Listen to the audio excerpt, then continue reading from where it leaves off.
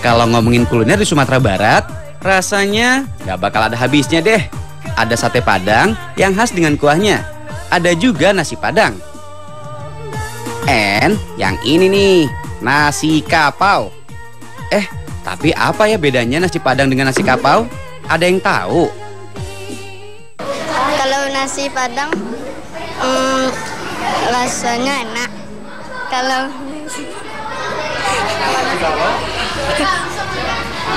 rasanya enggak enak.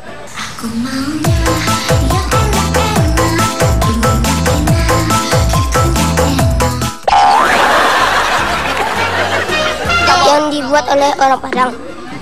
Skabau ter, eh, dibuat oleh eh, oleh terbuat dari daging daging kerboy. Kalau dari Padang sambalnya pedas.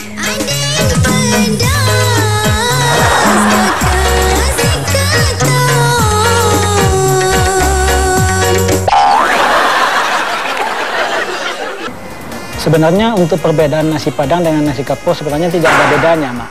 Cuma bedanya nasi kapau dengan nasi padang itu adalah tergantung dari sayurannya.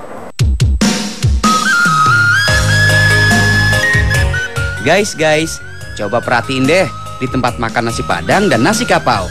Secara fisik, penyajian nasi padang beda kan sama nasi kapau? Kalau di tempat makan nasi padang, lauknya disusun menggunakan piring bertingkat seperti ini. Tapi, kalau di tempat makan nasi kapau, lauk diletakkan di wadah dan diletakkan di papan bertingkat, guys.